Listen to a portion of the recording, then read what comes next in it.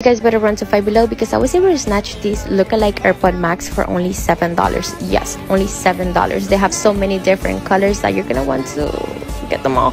I was able to get two, so they have a lot of inventory and the sound quality is amazing.